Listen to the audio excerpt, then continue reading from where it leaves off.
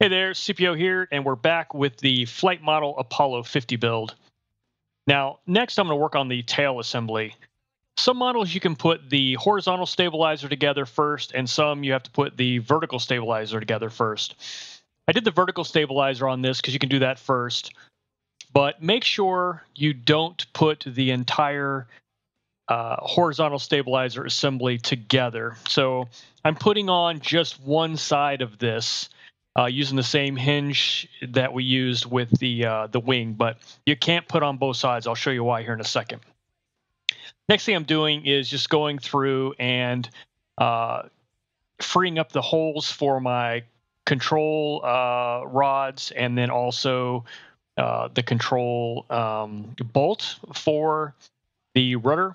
And I'm just using a soldering iron to uh, to melt the covering on this works really well. And then I need to also uh, remove the covering from the area where the horizontal stabilizer is going to go. Soldering iron works really well. I've got this is kind of an old, uh, not super hot soldering iron, but it gets the job done. And I'll get most of the material at least uh, moved out of the way with this. Um, but I find on these bigger slots, sometimes it's helpful to take a, a razor and just kind of remove any of that excess uh, film, but get that nice and cleaned out. There's the razor, uh, removing a little bit of that excess.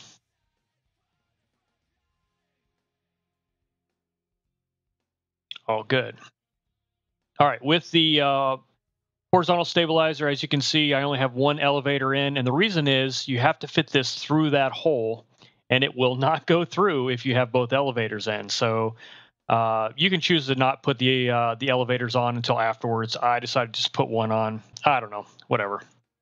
Uh, so now the most important part of this is getting everything uh, lined up. You want to make sure that everything is symmetrical from side to side.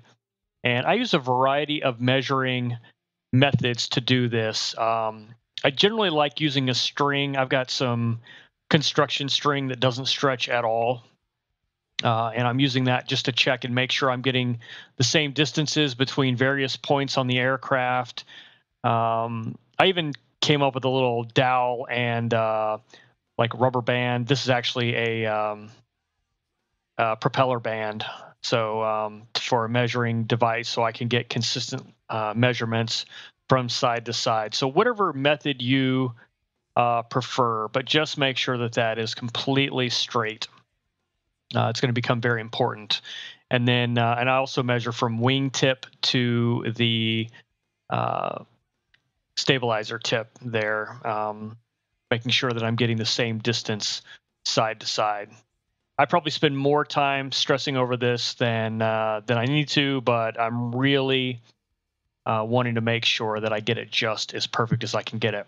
Once I'm sure I've got it where I want, I use a, uh, ballpoint pen to uh, mark where I'm going to remove the covering from. So uh, just right around the edge on both sides, top and bottom.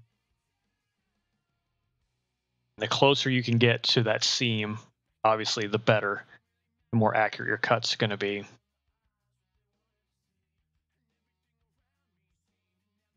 Got a little bit of the covering, uh, the silver uh, trim coming up. That'll easily go back down with an iron, so I'm not too worried about that. But you can see where I have the pen marks there, uh, particularly on this other side there, you can see that. So I need to remove the covering. Um, you could do that with a razor.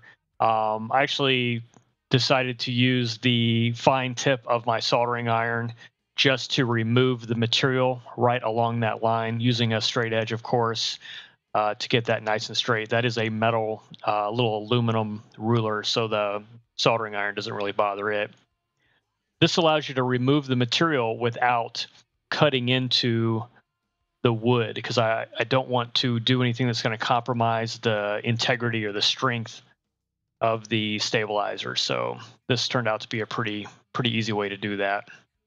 And then I just come in there and peel off the covering in the middle. Unfortunately, it didn't come off in one whole piece like I was hoping, but uh, didn't take much to get it uh, pulled out of there. So do that on both sides. We need to do that so that the epoxy can uh, can really um, connect with that wood and the uh, the wood on the actual fuselage. All right, so now this goes back in, and I redo all of that alignment that I did before. Although right now it's easier because I have the uh, the marks that I can align with, you know, for the where the covering's been removed. Um, but first, before I push it all the way in, I'm going to add the epoxy. Again, I'm using a 30 minute epoxy. I want to give myself plenty of time to work here so I don't feel rushed or pressured. And uh, put that on top and bottom. And you'll notice I've got some newspaper down. That's because uh, I didn't want to drip epoxy all over the place, and it will drip and squirt out and all that good stuff. So, so now I go through and get everything lined back up.